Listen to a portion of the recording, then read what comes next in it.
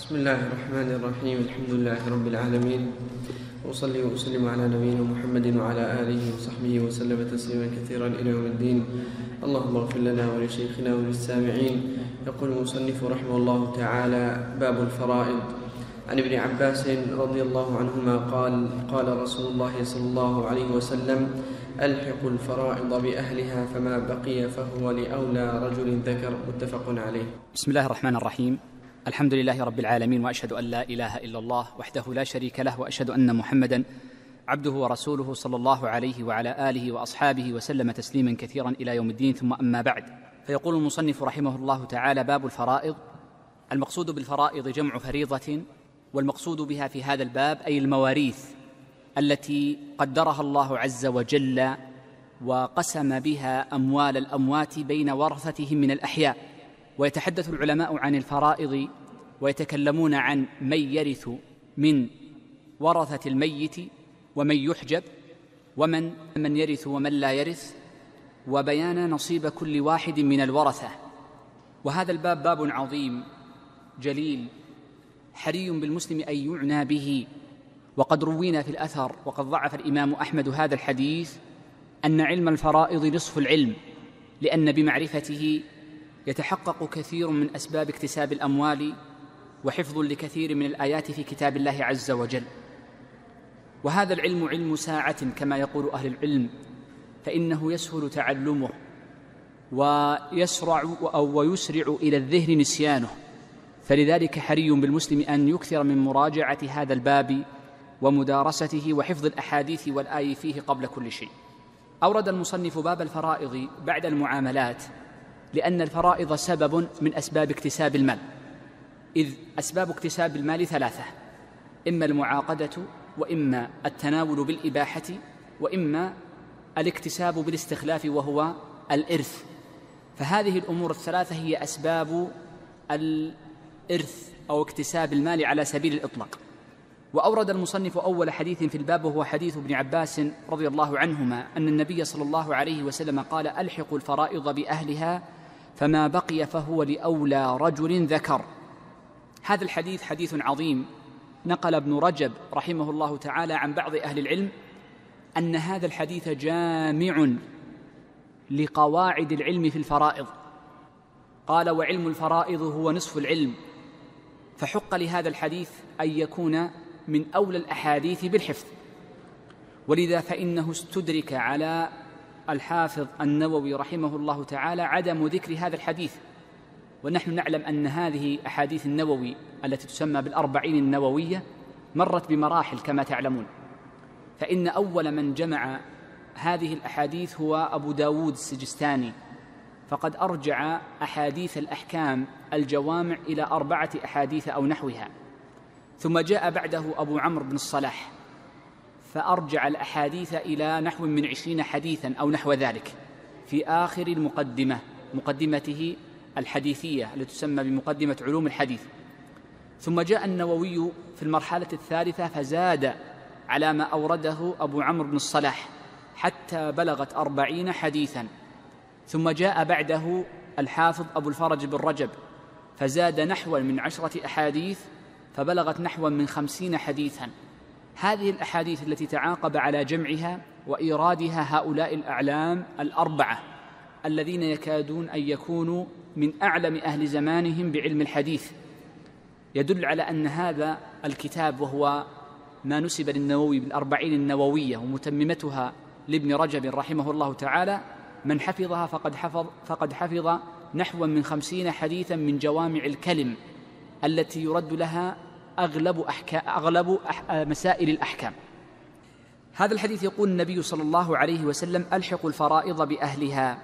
فما بقي فهو لأولى رجل ذكر. جاء عن الإمام أحمد تفسير هذا الحديث. فقد نقل إسحاق بن منصور كوسج أن الإمام أحمد لما سئل عن هذا الحديث قال قوله ألحقوا الفرائض بأهلها قال يعني أن كل من له فرض في كتاب الله عز وجل فأعطوه فرضه. فألحقوا أي أعطوا كل صاحب فرض في كتاب الله عز وجل فرضه. قال وما وقوله فما بقي فلأولى رجل ذكر قال يعني فلأولى رجل ذكر من العصبات. إذ قول النبي صلى الله عليه وسلم لأولى أي أقرب ورجل ذكر أي لأقرب رجل ذكر من العصبة. وهذا مفهوم من سياق الحديث وأجمعت الأمة على أن المراد بالرجل القريب هنا ما كان من العصبات. بيد أن هنا مسألة واحدة قبل أن ننتقل لفقه هذا الحديث وهي قول النبي صلى الله عليه وسلم لأولى رجل ذكر حينما أتى النبي صلى الله عليه وسلم بكلمتين وإحدى هاتين الكلمتين تغني عن الثانية فإن قوله رجل تغني عن قوله إنه ذكر. فلما أتى النبي صلى الله عليه وسلم؟ وهذا الحديث من جوامع الكلم بهاتين الكلمتين قالوا يؤخذ من الإتيان بالوصف الثاني وهو النعت بكونه ذكر فائدة. قالوا لكي لا يتوهم المستمع أن الإرث إنما هو خاص بالبالغين. فلو قال فلأولى رجل لظن أنه خاص بالبالغين. فدل على أن المراد بالذك المراد به الذكر وأن الذكر هو الذي يكون معصبا سواء كان بالغا أو ليس ببالغ وسواء كان مميزا أو عاقلا أو ليس بمميز ولا عاقل.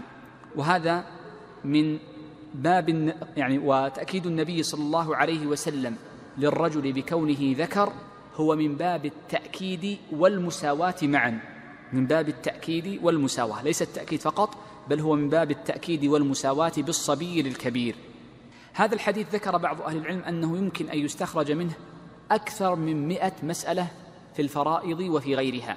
وقد أطال ابن رجب رحمه الله تعالى على شرح هذا الحديث وبيان فقهه ولكن سنذكر بعضا من المسائل الفقهية المهمة على سبيل الإيجاز ما يتعلق ب أو نأخذها من هذا الحديث. المسألة الأولى فيه أن أنه يجب البداءة بإعطاء ذوي الفروض إرثهم. والمراد بذوي الفروض هم من جاء إرثهم في كتاب الله عز وجل مبينا أو من يلحق بهم. فقد يأتي من يلحق بهم.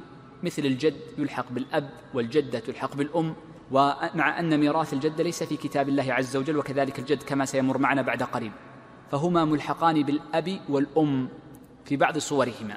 ولذلك قال الإمام أحمد المراد بقوله ألحق الفرائض يعني كل من له فريضة في كتاب الله. إذن المسألة الأولى أنه يعطى ذو الفروض إرثهم. وتفصيل ذوي الفروض معروف في كتب الفقه وهو مبين هناك. المسألة الثانية أن هذا الحديث دليل على أنه يلزم تقديم ذوي الفروض على العصبات لأن النبي صلى الله عليه وسلم قال فما بقي فلأولى رجل ذكر فدل على أن صاحب الفرض مقدم على العصبة وبناء عليه فلو كان من يرث بالعصبة لم يبق له شيء من الفرائض فإنه يسقط إرثه. وهذا هو الذي استدل به فقهاؤنا في الرواية الثانية التي سنذكرها إن شاء الله بعد بضعة أحاديث؟ في مسألة الجد والإخوة. فإنهم قالوا إن الجد والإخوة لا يرث الإخوة مع الجد شيئا إن استوعب التركة. ودائما الجد يستوعب لأنه معصب. وبناء عليه فإنه لا يرثون معه شيء. استدلوا بهذا الحديث فما أبقت الفروض فلأولى رجل ذكر. وسيمر معنا إن شاء الله أن الجد لا يجوز أن ينقص عن السدس مطلقا. فلو نقص عن السدس يعطاه بالفرض. مما استدل به على هذا الحديث استدل به على إثبات الإرث بالتعصيب. وهذا أصل من أصول الإرث بالتعصيب هذا الحديث. فهذا الحديث يدل على أنه يورث بالتعصيب وأن التعصيب خاص بالذكور.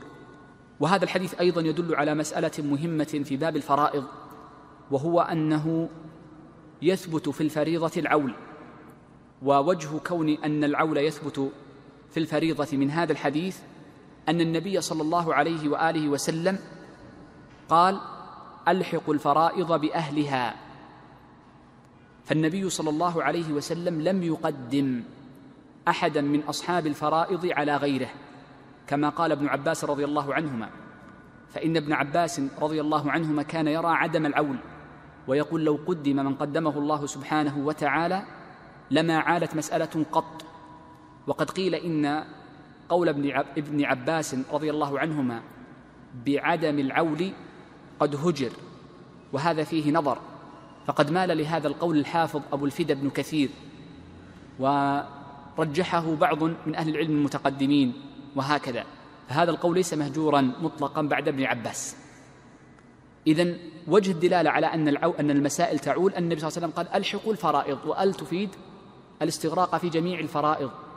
وليس فيه تقديم لفريضة على أخرى فدل على أن الفرائض كلها متساوية في كتاب الله جل وعلا ولا يمكن الجمع بينها إلا بالعول فتعول المسائل ويرث الجميع بالنسبة والتناسب. كما أن هذا الحديث أيضا فيه دليل على إثبات الرد في الفريضة إذا إذا بقي بعد أصحاب الفرائض شيء ولم يوجد هناك معصب. إذا لم يوجد هناك معصب. والدليل على أنها تثبت الرد أو الحديث هذا يدل على إثبات الرد أن النبي صلى الله عليه وسلم قال ألحقوا الفرائض بأهلها فما بقي فلأولى رجل ذكر. فإن لم يكن هناك رجل ذكر أي معصب يرث الباقي فإنه يرد على باقي أهل الفروض. فنعمل بالجملة الأولى ألحق الفرائض بأهلها. فيكون المال كله لأهل الفرائض ولا يتحقق ذلك إلا بالرد. والرد فيه يعني روايتان في مذهب الإمام أحمد فمشهور المذهب هو القول بالرد وقد قضى به صحابة رسول الله صلى الله عليه وسلم إلا على الزوجين فإنهم يرون أن الزوجين لا يرد عليهما. والرواية الثانية في المذهب أنه يرد على جميع أصحاب الفرائض حتى الزوجين يرد عليهما حتى الزوجين يرد عليهما. أيضا من ما يدل به أو مما يدل عليه هذا الحديث أن الإرث بالتعصيب إنما هو خاص بالرجال لأن النبي صلى الله عليه وسلم قال فلأولى رجل ذكر وأن النساء لا يرثن بالتعصيب إلا في حالتين وهاتان الحالتان إما أنهما ورثتا من باب التبع أو من باب دليل منفصل فيكون هذا الحديث على عمومه إلا أنه قد خص بحديث سيأتي بعده مباشرة وهو حديث ابن مسعود رضي الله عنه وهو التعصيب بالغير أو مع الغير. فتكون الأخت مع أخيها وارثة بالتعصيب أو الأخوات مع البنات يرثن بالتعصيب مع الغير. آه، المسألة الأخيرة نقف عندها. مما يدل عليه هذا الحديث أن هذا الحديث استدل به فقهاؤنا على أن آه، في المسألة اليمية أو المسألة الحجرية أن الإخوة لأبوين يحجبون ولا يشركون أو ولا يشركون مع الإخوة لأم. وصورة هذه المسألة لو أن امرأة توفيت عن زوجها وعن أمها وعن أخوات لأم أو إخوة عن إخوة لأم وعن إخوة لأم سواء كن ذكورا أو إناثا أو ذكورا وإناث. وعن إخوة ذكور لأبوين. وعن إخوة لأبوين. فلو أردنا أن نعطي كل صاحب ذي فرض فرضة فإننا سنعطي الزوج النصف ونعطي الأم السدس لوجود جمع من الإخوة ونعطي الإخوة لأم الثلثين لأنهما أكثر من شخص. ولا يبقى للإخوة لأب أو الإخوة الأشقاء شيء لا يبقى لهم شيء. يقال إن الإخوة الأشقاء ذهبوا لعمر رضي الله عنه وقالوا هب أن أبانا حجرا في اليم أو هب أن أبانا حمارا. كيف الإخوة لأم يرثون الثلث ونحن إخوة من أم وأب لا نرث شيئا. هب أن أبانا ليس موجودا حجرا في اليم يمية أو حجرية أو حمارية أو غير ذلك سميها. فبعض أهل العلم مال للتشريك وأما مذهب الإمام أحمد فإنه لا يشرك الإخوة الأشقاء مع الإخوة لأم ودليلهم حديث الباب. لأن النبي صلى الله عليه وسلم قال ألحقوا الفرائض بأهلها فما بقي فلأولى رجل ذكر. ولم يبق شيء للإخوة الأشقاء فنقول هذا حكم الله عز وجل فلا يرثون شيئا. لحكمة أرادها الله سبحانه وتعالى. نعم. صلى الله إليكم يقول رحمه الله تعالى وعن أسامة بن زيد رضي الله عنهما أن النبي صلى الله عليه وسلم قال لا يرث المسلم الكافر ولا يرث الكافر المسلم. متفق عليه. هذا حديث أسامة بن زيد رضي الله عنهما أن النبي صلى الله عليه وسلم قال لا يرث المسلم الكافر ولا يرث الكافر المسلم. والحديث في الصحيحين. هذا الحديث اختلفت الرواية في مذهب الإمام أحمد في معناه.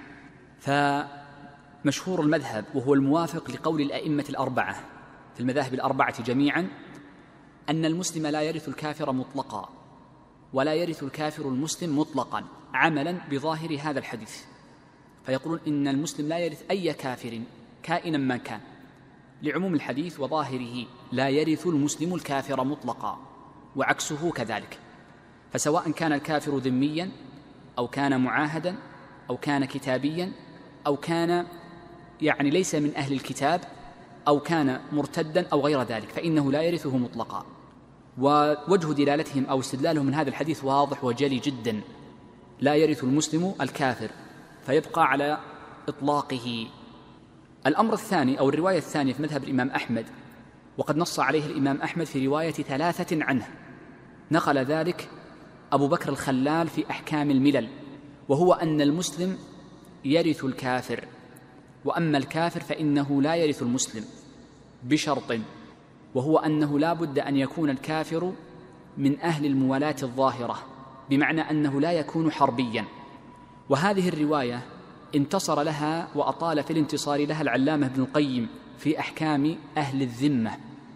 وذكر أن هذه هي الأصح والمنصوصه عن الإمام أحمد وأن شيخ تقي الدين رحمه الله تعالى شيخه أنه كان ينتصر لهذه الرواية وهو أن المسلم يرث الكافر إلا أن يكون الكافر حربيا فلا يرث منه. وبناء على ذلك فإن المرء إذا أسلم وكان أبواه كافرين فإن مشهور المذهب وهو قول المذاهب الأربعة في مشهور قولهم أن هذا الابن الذي أسلم لا يرث أباه الكافر مطلقا. وأما على الرواية الثانية وهي منصوص أحمد واختيار الشيخين وثابتة عن عدد من صحابة رسول الله صلى الله عليه وآله وسلم وعدد من فقهاء السلف المتقدمين فيقولون إنه يرث. قالوا لأن الولاء لأن الموالاة نوعان موالاة ظاهرة وموالاة باطنة. فالموالاة الباطنة منفية بين المسلم وبين كل كافر. وأما الموالاة الظاهرة كالبر والإحسان ومنها الإرث فإنها تثبت للكافر إذا لم تكن بينه وبين المسلمين حرب وهو الحرب. وهذه أطال الشيخ تقي الدين في تقريرها وهو التفريق بين نوعي الموالاة. فالموالاة بين المسلم والكافر ليست نوعا واحدا وهي منفية. المنفي مطلقا هي الموالاة الباطنة. وأما الموالاة الظاهرة فإن الشيخ تقي الدين نقلها عن عامة فقهاء السلف يرون أنها نوعان كما ذكرت لكم قبل وقد فصلها ابن القيم في أحكام أهل الذمة تفصيلا لا مزيد عليه. رحمة الله على الجميع. نعم الله عليكم يقول رحمه الله تعالى وعن ابن مسعود رضي الله عنه في بنت وبنت ابن وأخت قضى النبي صلى الله عليه وسلم للإبنة النصف ولابنة الإبن السدس تكملة الثلثين وما بقي فللأخت رواه البخاري. نعم هذا حديث ابن مسعود رضي الله عنهما أنه سئل في رجل مات عن بنت وبنت ابن وأخت والأخت هنا طبعا أطلق مما يدل على أنه يشمل الحكم الأخت الشقيقة والأخت لأب وليس المراد بالأخت هنا الأخت لأم لأن ولد الأم آه، محجوب بوجود الفرع الوارث فلا ترث أساسا فجزما المراد بالأخت هنا إنما هو الأخت لأب أو الأخت ل يعني لأخت لأب أو الأخت الشقيقة وتسمى بنت بنت الأب. قال فقال ابن مسعود قضى النبي صلى الله عليه وسلم في هذه المسألة للبنت النصف وهذا فيه دليل على أن البنت إذا كانت واحدة فإنها ترث النصف فإن كانت أكثر من ذلك اثنتان فأكثر فإنها ترث الثلثين إن لم يكن معها طبعا أخ يعصبها. قال ولابنة الابن السدس أي أن ابنة الابن ترث السدس تتمة الثلثين. وبناء عليه فلو أن الثلثين قد استوعبتها البنات بأن كن البنات اثنتين فأكثر فإن بنت الابن لا ترث شيئا لفوات الثلثين فإنما تأخذ السدس تتمة الثلثين فلا نقول السدس مطلقا وإنما نقول السدس تتمة الثلثين لبيان أن من شرط استحقاقها لهذا السدس أن لا يكون هناك جمع من البنات يستوعبن الثلثين. ولذلك قال ولابنة الابن السدس تكملة الثلثين قال وما بقي للأخت فللأخت أي الأخت الشقيقة أو الأخت لأب وهذا فيه دليل على أن الأخوات مع البنات عصبات وهذا نص على أن الأخت ترث باقي المال تعصيبا مع الغير أي مع الأخت مع البنت عفوا نعم. المصلحة هذه تعليل التعليل بالمصلحة ضعيف. ما يعلل بالمصلحة دائما وإنما يعلل بالعلل المعاني لأن التعليل بالمصلحة دائما يكون ضعيف ولا يصار إليه إلا للترجيح أو عند الاستثناء في تخصيص العلة كالحاجة. لا لا ما, ما عللوا به. قد يقول من باب تأييد الحكم يقول إنه للمصلحة. لكن لو علل بالمصلحة مطلقا إذا لم توجد المصلحة فيلتغي الحكم. ولذلك عندنا قاعدة أن التعليل بالحكمة لا يصح إلا أن تكون وصفا ظاهرا منضبطا. فالمصلحة والمشقة ونحو ذلك هذه حكم.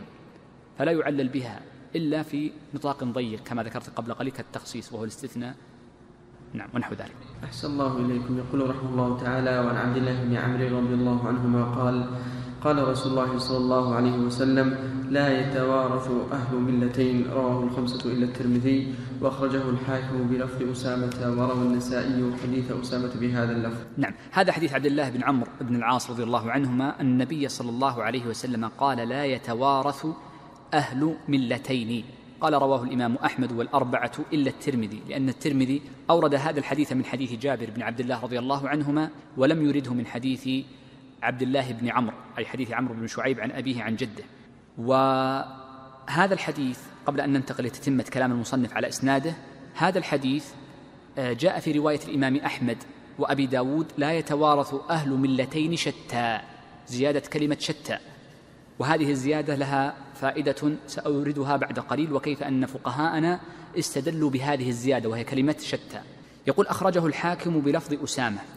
نعم يعني هذا قصد يعني معنى هذا الكلام أن الحاكم أورده في المستدرك بنحو لفظ أسامة لا يرث المسلم الكافر ولا يرث الكافر المسلم. لكن هذا الحديث ضعفه أحمد أي ضعف إرادة حديث عمرو بن شعيب عن أبيه عن جده بلفظ حديث أسامة. فقد جاء عن الإمام أحمد أنه قال يرويه فقط عمرو بن شعيب عن أبيه عن جده بلفظ لا يتوارث أهل ملتين أو أهل ملتين. مما يدل على أنه يضعف الرواية الثانية. فإن الرواية الثانية إنما صحت بلفظ من حديث أسامة فقط. قال وروى النسائي حديث أسامة بهذا اللفظ. آه هذا الحديث آه ذكرت لكم قبل قليل أنه رواه أهل السنن إلا الترمذي وقد حكم ابن عبد البر على أن هذا الحديث لا مطعن فيه. كذا قال في التمهيد ونقل عنه ابن عبد الهادي في موطن آخر أنه ضعف إسناده. وعلى العموم فإن هذا الحديث إسناده جيد.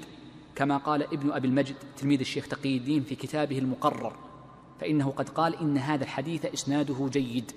هذا الحديث فيه من الفقه مسألة مهمة وهو مسألة توارث أهل الملل فيما بينهم. هل يتوارث أهل الملل فيما بينهم أم لا؟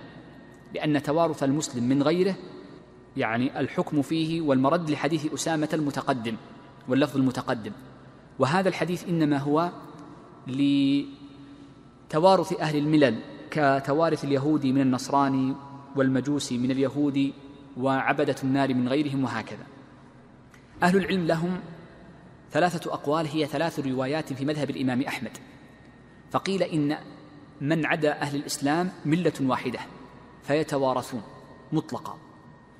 وهذا هو مذهب أبي حنيفة والشافعي ورواية عن أحمد. وقيل إن غير الإسلام إنما هي ثلاث ملل فقط. وهو قول مالك والرواية ورواية عن الإمام أحمد أقوى من التي قبلها.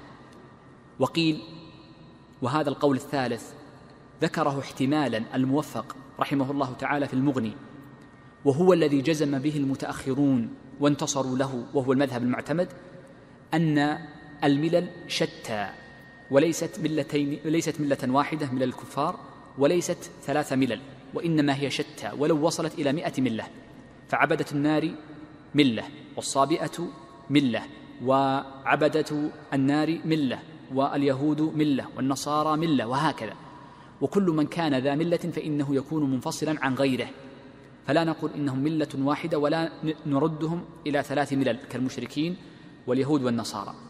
ودليل المذهب يعني أو فقهاء المذهب المتأخرين على ذلك الزيادة التي جاءت في مسند الإمام أحمد وأبي داود وإسنادها صحيح أن النبي صلى الله عليه وسلم قال لا يتوارث أهل ملل شتى أو أهل ملتين عفوا لا يتوارث أهل ملتين أو أهل ملل عفوا أهل ملل شتى. فدل ذلك على أن أهل الملل أو أن غير أهل الإسلام هم أهل ملل شتى. نعم.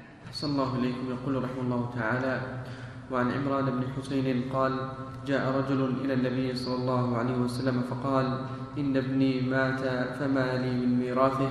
فقال لك السدس. فلما ولى دعاه فقال لك سدس آخر. فلما ولى دعاه فقال إن السدس الآخر طعمة. رواه الخمسة وصححه الترمذي. وهو من رواية الحسن البصري عن عمران وقيل إنه لم يسمع منه. نعم هذا الحديث حديث عمران بن حسين رضي الله عنه ذكر المصنف أن الإمام أحمد والأربعة قد رووه وقد تبع في قوله إن الأربعة قد رووه جمال الدين المرداوي في كفاية المستقنع فإنه ذكر أن الخمسة قد رووه والصحيح أن ابن ماجه لم يروي هذا الحديث فإن النسخ المطبوعة المعتمدة على نسخ خطية لم يورد فيها هذا الحديث حديث عمران بل إن المزي في تهذيب الك في في التحفة لم يذكر أن ابن ماجه أورد هذا الحديث من حديث عمران. ثم قال المصنف وقد صححه الترمذي وقال هو من رواية الحسن البصري عن عمران. قال وقيل إنه لم يسمع منه. قوله وقيل إنه لم يسمع منه هذا قال به أئمة كبار كعلي بن المديني وأبو حاتم الرازي فإنهم نفوا أن الحسن قد سمع من عمران رضي الله عنه ورحمه. ولذلك قال جمع من أهل العلم ومنهم أبو داود في هذا أو في تثبت هذا الحديث نظر. ولذلك ضعف هذا الحديث جمع من أهل العلم وممن ذكر ذلك أبو داود باللفظ الذي ذكرت لكم قبل قليل. هذا الحديث آه، فيه حكم وفيه استشكال. فأما الحكم فنأخذه من أول الحديث فإن عمران قال جاء رجل إلى النبي صلى الله عليه وسلم فقال إن ابن ابني مات. أي حفيده ابن الابن مات. فما لي من ميراثه؟ فقال لك السدس. قول النبي صلى الله عليه وسلم لك السدس. استدل بها على حكمين. الحكم الأول على أنه أن الجد يرث السدس. أن الجد يرث السدس. ولا يرث الثلث وإنما يرث السدس. ليس كالأب قد يرث الثلث أحيانا. وما زاد عن هذا السدس قد يأخذه بالتعصيب. الحكم الثاني الذي نأخذه أنه لا يجوز أن ينقص الجد عن السدس. وبناء عليه في مسألة التشريك الجد مع الإخوة يجب أن لا ينقص الجد عن السدس. وهذا واجب فيه. ولذلك قال لك السدس أي لا تنقص عنه مطلقا. يقول فلما ولى دعاه أي دعاه النبي صلى الله عليه وسلم فقال لك سدس آخر. فلما ولى دعاه فقال إن السدس الآخر طعمة. الجملة الثانية محل إشكال. لما أعطى النبي صلى الله عليه وسلم هذا الرجل سدسا آخر؟ فالجد إنما له سدس واحد فقط وما زاد عن هذا السدس فإنما هو من باب التعصيب لا من باب الفرض. وكان الأنسب أن يقول ولك الباقي. ولذلك هذا الحديث أو يعني كان سبب إشكال عند كثير من أهل العلم. ومنهم الإمام أحمد. فقد فقد سأل إسحاق بن منصور كوسج الإمام أحمد عن هذا الحديث فقال عنه الإمام أحمد هو كما ترى هو كما ترى أمر مظلم. يعني أمر لا أدري كيف يكون يأخذ سدسين معا. ولكن أهل العلم وجهوا ذلك بأن المراد بقوله إن السدس الآخر طعمة أي أنه من باب التعصيب من باب التعصيب. ولكن هنا مشكل أننا لا نعرف من الذين ورثوا مع هذا الجد. لا نعرف بل ظاهر الحديث أنه قال مات وليس لي شيء فهو من هذا هذا الجهة فهو مشكل. ولذلك قال قتادة رحمه الله تعالى لا ندري مع أي شيء ورثه النبي صلى الله عليه وسلم. يعني لا ندري مع من ورثه النبي صلى الله عليه وسلم. ولكن قال فلكن يقول قتادة من دعام السدوسي ولكن أقل شيء يورث الجد السدس. أقل ما ورد أنه يورث السدس. ومعلوم أن قتادة كان فرضيا. ومن لطيف كلامه رحمه الله تعالى قتادة أنه كان يقول إذا أردت أن تعرف الفرائض فأمت جيرانك. انظر لجيرانك جميعا وأمتهم واقسم, واقسم تركتهم. فإنك حينئذ تضبط هذا الفن. طيب آه إذن هذا التوجيه الأول الذي ذكرناه قبل قليل أنه من باب ال ال يعني آه من باب التعصيب. ولكن هذا استشكل بأنه لا يعرف من الذي جاء معه. قد جاء عند سعيد بن منصور أن عمر رضي الله عنه قال للصحابة كم أعطى النبي صلى الله عليه وسلم الجد؟ فقالوا السدس. قال مع من؟ قال لا أدري. قال ما استفدنا شيئا. السدس يكون مع من؟ فنريد حل هذا الاستشكال. التوجيه الثاني هو الذي قال به إسحاق بن راهوية كما نقله عنه إسحاق بن منصور فإنه نقل عنه أن قول النبي صلى الله عليه وسلم طعمة معناه أنك إذا أخذت فريضتك فقد استوفيت حقك فإنما حقك بالسدس الماضي. وأن ما فضل عن هذا السدس فإنما هو لبيت المال. وما كان لبيت المال كذا يقول إسحاق بن بن راهوية وما كان لبيت المال فلنا أن نعطي منه من نشاء. فهو من باب إكرام النبي صلى الله عليه وسلم له بأن أعطاه السدس الثاني. ليس فرضا وإنما من باب الطعمة والإكرام وكان ذلك قبل أن يفرض التعصيب. قبل أن يفرض التعصيب. إذن هذا الحكم في جزئه الثاني منسوخ بالتعصيب. فلك التعصيب.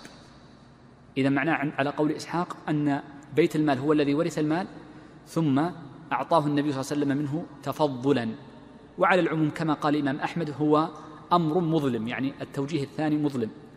وما ذهب له أبو داود وغيره من تضعيف هذا الحديث يعني يحل إشكالا كثيرا في توجيهه. نعم. أحسن الله إليكم يقول رحمه الله تعالى وعن ابن بريدة عن أبيه أن النبي صلى الله عليه وسلم جعل للجدة السدس إذا لم يكن دونها أم. رواه أبو داود والنسائي وصحب بن خزيمة وابن الجارود وقواه بن عدي. بن عدي. نعم وهذا حديث ابن بريدة رضي الله عنه عن أبيه أن النبي صلى الله عليه وسلم جعل للجدة السدس أي جعل الجدة ترث السدس إذا لم يكن دونها أم. قال رواه أبو داود والنسائي وقد صححه ابن خزيمة وابن الجارود. والحقيقة أن هذا الحديث يعني تكلم في أحد الذين تفردوا فيه وهو أبو منيب. وأبو منيب وإن كان ابن عدي في الكامل قد ضعفه إلا أنه لما أورد له هذا الحديث قال وهذا الحديث له لا بأس به وهذا معنى قول المصنف قواه بن عدي. فإن ابن عدي نظر لهذا الحديث بخصوصه بأنه لا نكارة في معناه. وهذه طريقة بعض أهل العلم المتقدمين العالمين بالمتون والناظرين للشواهد. ولذلك قال إنه لا بأس بهذا الحديث. هذا الحديث فيه من الفقه مسائل. أول مسألة أن الجدة ترث. لأن النبي صلى الله عليه وسلم جعل للجدة السدس. وهنا عندنا مسألة. كم جدة ترث؟ فنقول إنما يرث من الجدات ثلاث فقط.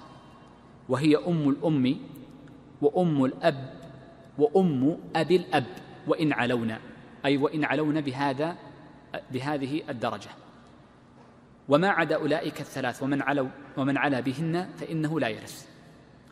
وبناء على ذلك فإنه لا يتصور أن يرث أكثر من هؤلاء الثلاث لأن من زاد عنهن في الغالب يكون جيل بعيد. ولذلك ثبت عن إبراهيم النخعي أنه لا يرث من الجدات إلا ثلاث.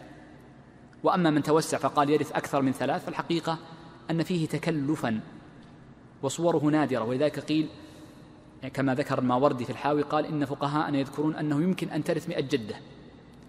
وهذا كلامهم إنما هو من باب التنظير لا من باب الواقع. فإنه لا يمكن أن ترث مئة جدة في الحقيقة. وهكذا. طيب المسألة الثانية معنا أن هذا الحديث دليل على أن الأم تحجب الجدة وهذا بإجماع أهل العلم. فإذا وجدت أم فإنها تحجب الجدة لقول النبي صلى الله عليه وسلم فإن لم إذا لم يكن دونها أم. وسواء كانت الجدة قد أدلت بالأم بأن كانت الجدة أم أم أو لم تدل بالأم بأن كانت أم أب فإنها في الحالتين تحجب بالأم. المسألة الثالثة في هذا الحديث نستدل منه على أن الأب لا يحجب الجدة التي أدلت به. فأم الأب أو أم أبي الأب ترثان السدس وإن كان ابنهن حيا. لأن النبي صلى الله عليه وسلم قال جعل للجدة السدس. وجاء في حديث النخعي ورث النبي صلى الله عليه وسلم ثلاث جدات. جعل للجدة السدس إذا لم يكن دونها أم ولم يقل أو أب أو من أدلت به ونحو ذلك.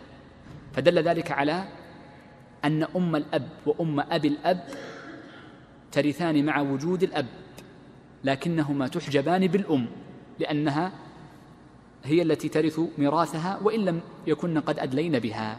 نعم. أم أم الأم وأم الأب وأم أبي الأب. ثنتان من جهة الأب وواحدة من جهة الأم. ما تحجب لا الأولى الثانية ولا الثالثة. لا أم الأب ولا أم أبي الأب. كلاهما لا تحجبان بالأم بالأب. لا يحجبان بالأب تحجبان بالأم. أحسن الله إليكم. يقول رحمه الله تعالى وعن المقدام بن معدي كرب رضي الله عنه قال قال رسول الله صلى الله عليه وسلم الخال وارث من لا وارث له. أخرجه أحمد والأربعة سوى الترمذي وحسنه أبو زرعة الرازي وصححه الحاكم وابن حبان. وعن أبي أمامة بن سهل قال كتب معي عمر إلى أبي عبيدة رضي الله عنهم أن رسول الله صلى الله عليه وسلم قال الله ورسوله مولى من لا مولى له والخال وارث من لا وارث له.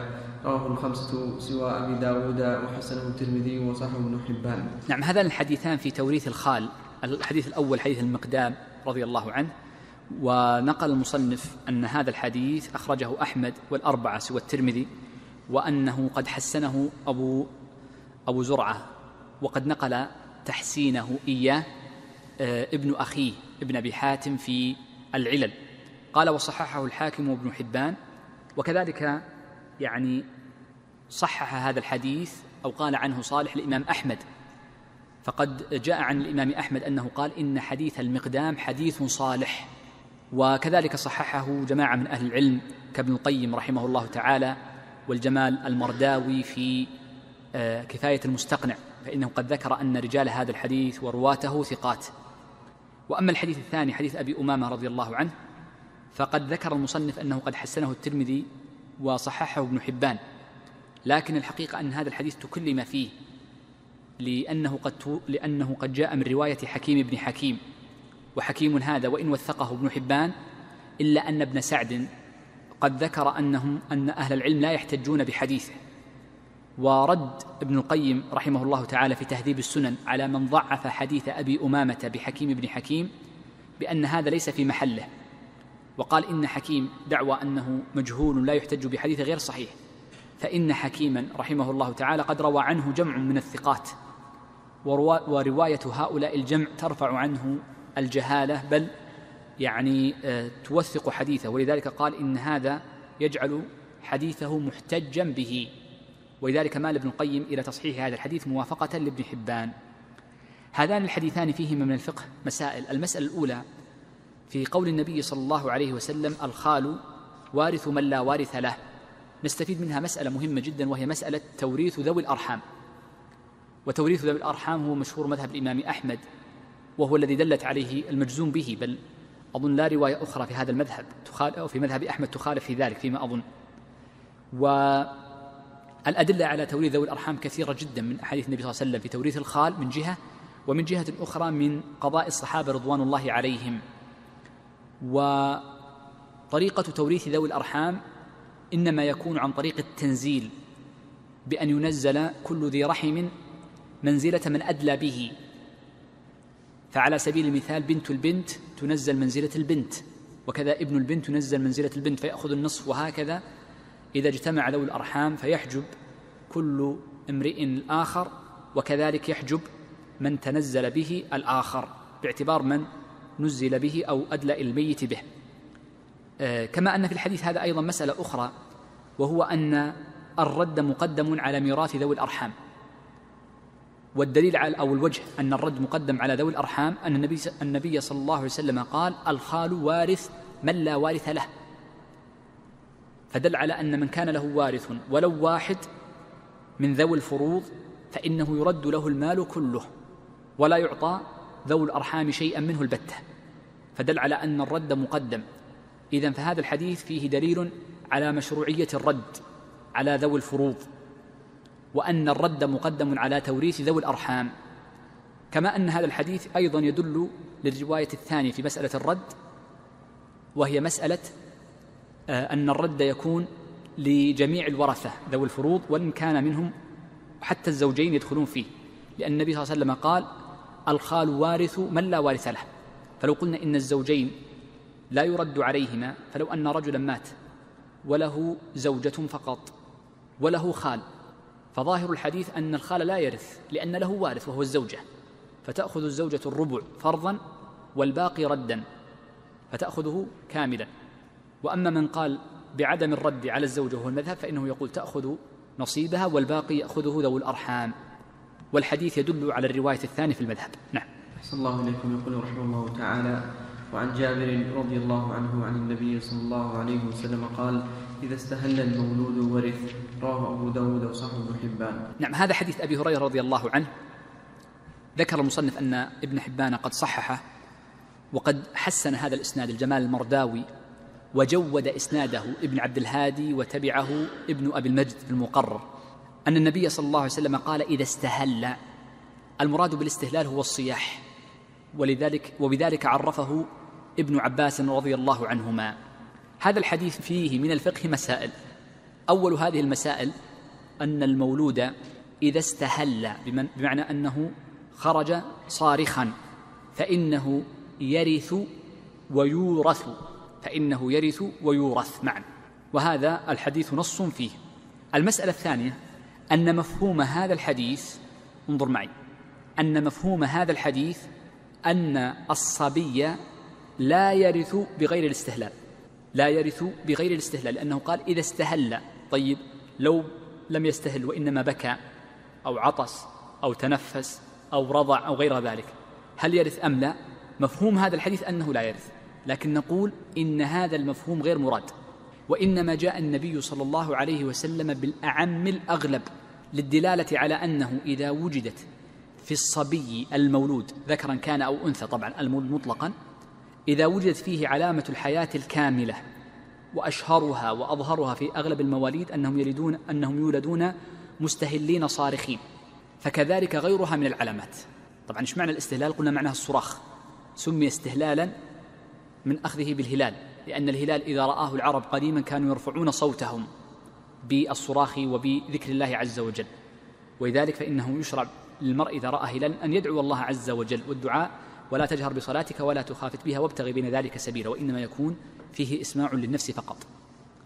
إذا مشهور المذهب ماذا يقولون؟ يقول إن هذا المفهوم غير مراد وإنما نقيس على الاستهلال كل ما كان في معناه وهي أربعة أشياء البكاء لأن البكاء استهلال وزيادة.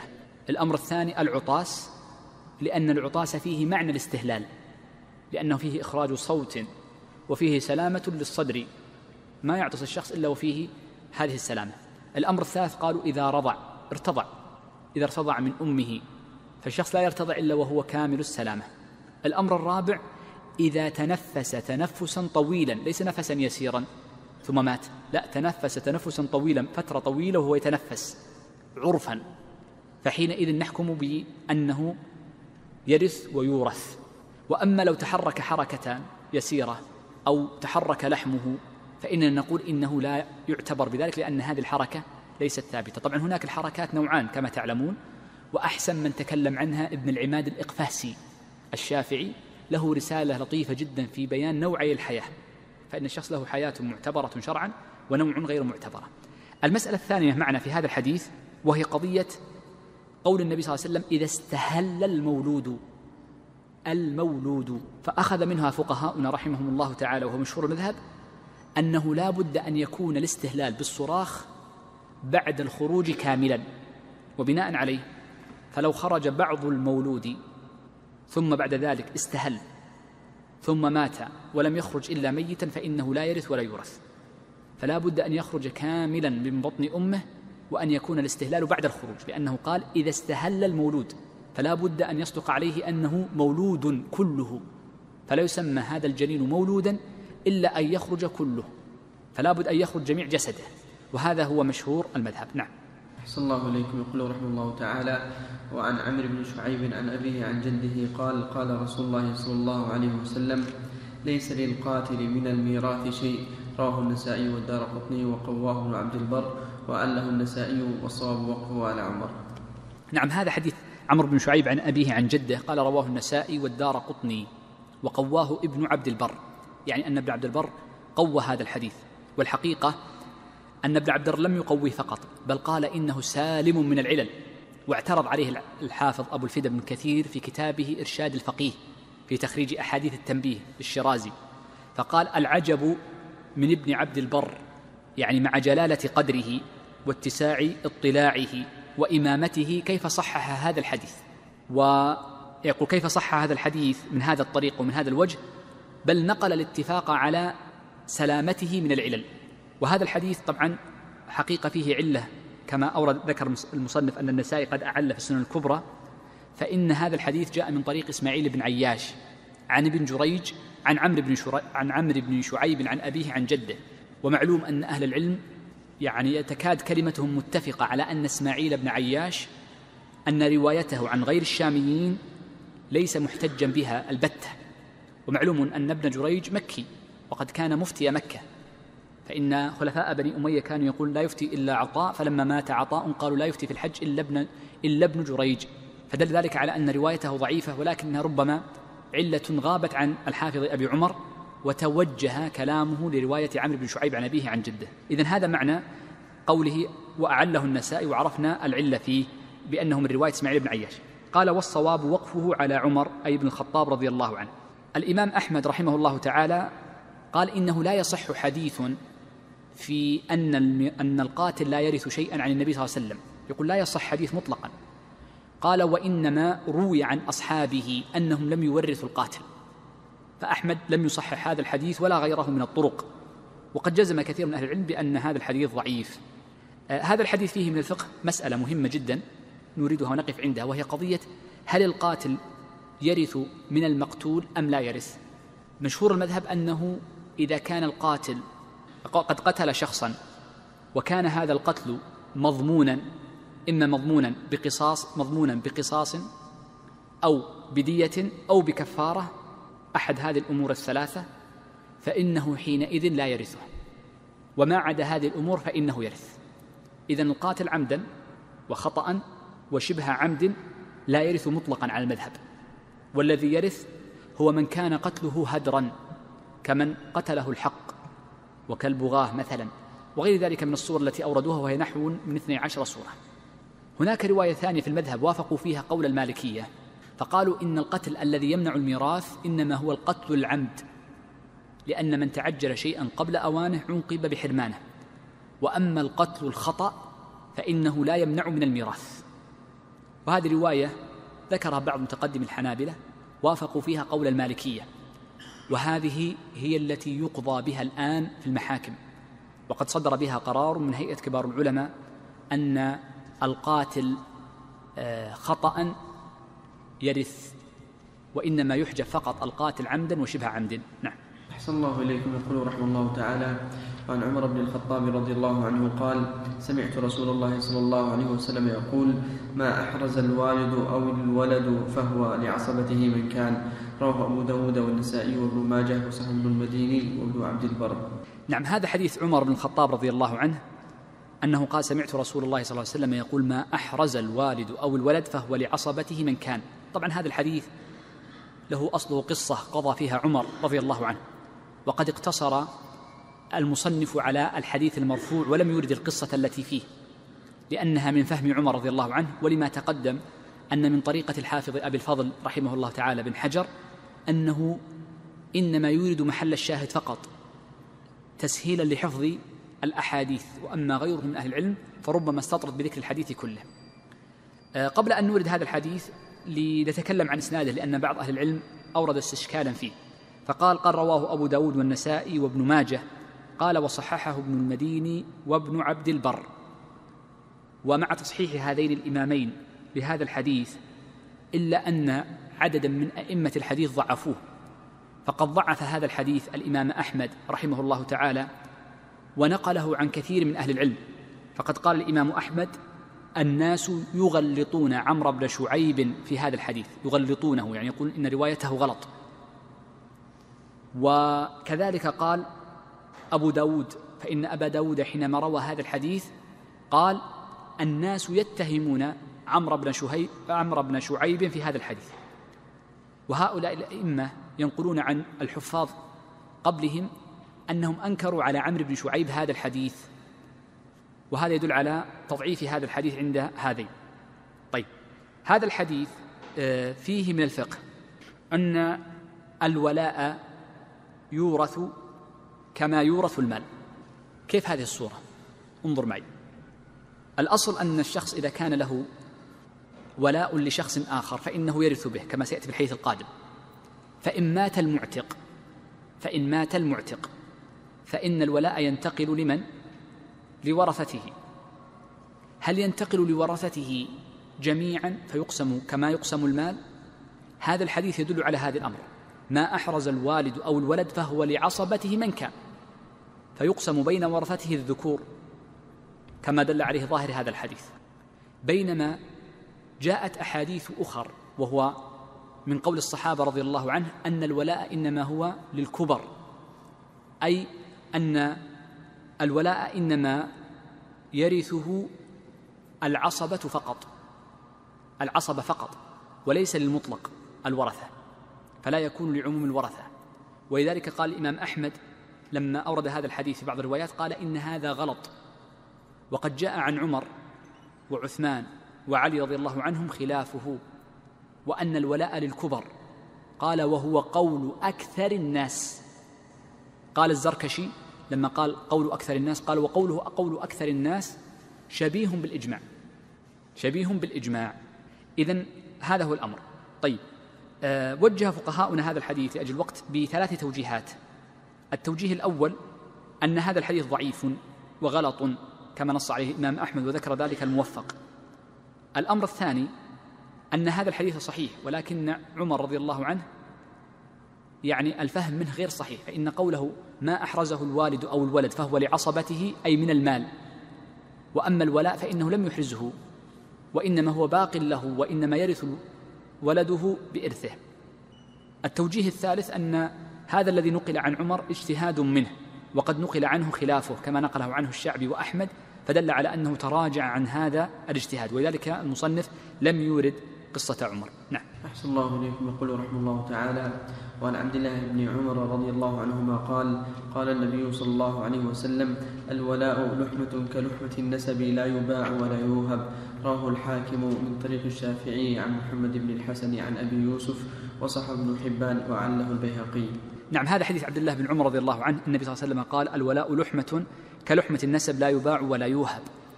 ذكر المصنف قال رواه الحاكم من طريق الشافعي. طبعا الشافعي رواه في الأم ومن طريقه أيضا رواه أبو العباس الأصم في كتابه المسند عن الشافعي لأن المسند لأبي العباس بن الأصم وليس للشافعي. وأورد فيه أحاديث الشافعي التي رواها من طريق الربيع بن سليمان عنه. بينما السنن هي جاءت من طريق المزني. وقد قيل إن الذي جمع السنن التي تسمى سنن الشافعي قيل إن الذي جمعها المزني وقيل إن الذي جمعها إنما هو أبو جعفر الطحاوي تلميذه. ولذلك فإن السنن والمسند ليس للشافعي وإنما هي مأخوذة من كتبه. فالشافعي إنما رواه في كتاب الأصل وهو كتاب الأم ومن طريقه الأصم في كتاب المسند. قال من طريق محمد بن الحسن عن أبي يوسف رحمهم الله تعالى قال وصححه ابن حبان وكذلك الحاكم وأعله البيهقي وغيره أعلوا هذا الحديث. لكن قد ذكر المرداوي أن لهذا الحديث طرق كثيرة. قال وقال بعضهم إن رواته ثقات. يعني من باب أن هذه الطرق بعضها يشهد لبعض. على العموم هذا الحديث فيه جملتان. الجملة الأولى في قوله الولاء لحمة كلحمة النسب. فالنبي صلى الله عليه وسلم شبه الولاء بالنسب. ولا شك أن يعني المشبه به أو أن المشبه يكون دون المشبه به. فيكون دونه وهذا يدل على أن الولاء أضعف من النسب لكنه يشبهه في أحكام. من هذه الأحكام أولا أن الولاء يورث به كما يورث بالنسب هذه مسألة. الأمر الثاني أن ما يحجب فيه بالنسب يحجب فيه بالولاء. وبناء على ذلك فإن اختلاف الدين بينهما أي بين المولى وبين المعتق فإنه يمنع من الإرث. وأما المذهب فإنهم يمنعون به يعني يمنعون من الإرث به إذا كان المعتق كافرا والمعتق مسلما. وأما إذا كان العكس بأن كان المعتق آه، مسلما والمعتق كافرا فإنهم يجيزون أو يصححون الإرث به ويقولون يحوزه ولو كان كافرا. وهذه الحقيقة على الرواية الثانية منضبطة فإن المسلم دائما يرث الكافر إلا أن يكون بينهم ذات حرب والمذهب يعني هنا خالف في أصله الأول. آه، المسألة الأخيرة أن هذا الحديث يدل على أن المعتق لا يرث المعتق. المعتق لا يرث المعتق. وبيان ذلك أن النبي صلى الله عليه وسلم قال الولاء لحمة كلحمة النسب فإنما يورث بالولاء. وقد جاء في الحديث الآخر أن النبي صلى الله عليه وسلم قال الولاء لمن أعتق. ولم يقل إن الولاء لمن أعتق فدل على أن المعتق وهو الذي يسمى الولاء من سفل لا يرث المعتق من المعتق شيئا. الأمر الأخير هي المسألة السابقة التي استدلينا بها ورددنا الحديث الذي روي فيه وهو أن عصبات الإنسان في الولاء إنما هم العاقلة فقط وليس كل العصبات وإنما هم العاقلة فقط. طيب الجملة الثانية قوله لا يباع ولا يوهب هذا الحديث أصله في صحيح الصحيح من حديث عبد الله بن دينار عن ابن عمر رضي الله عنهما أن النبي صلى الله عليه وسلم نهى عن بيع الولاء نهى عن بيع الولاء صلوات الله وسلامه عليه. وهذا الحديث النهي عن بيع الولاء تقدم معنا في الباب في بابه. وقد ذكر مسلم أن الناس عيال على عبد الله بن دينار في هذا الحديث. ولذلك قال الإمام أحمد إن عبد الله بن دينار يعني لم يوافق وإنما خالفه نافع وغيره فلم يرد هذه الزيادة. وعلى العموم أهل العلم صححوا هذه الرواية وتقدمت معنا أظن في العمدة تكلمنا عنها في ذلك الموضع. نعم.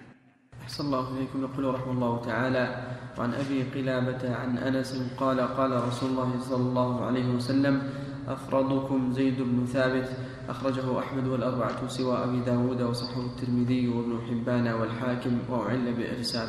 نعم هذا حديث أنس رضي الله عنه ختم به المصنف ونختم به درسنا اليوم بمشيئة الله عز وجل. قال قال رسول الله صلى الله عليه وسلم أفرضكم زيد بن ثابت رضي الله عنه. قال أخرجه أحمد والأربعة سوى, أبو سوى أبي داود وصححه الترمذي وابن حبان والحاكم وأعل بالإرسال. إيراد المصنف رحمه الله تعالى لهذا الحديث إنما أورده لفائدة وحكم. وذلك أن الإمام أحمد قد نص في رواية أبي طالب أنه قال أذهب لحديث أنس. قول النبي صلى الله عليه وسلم أفرضكم زيد.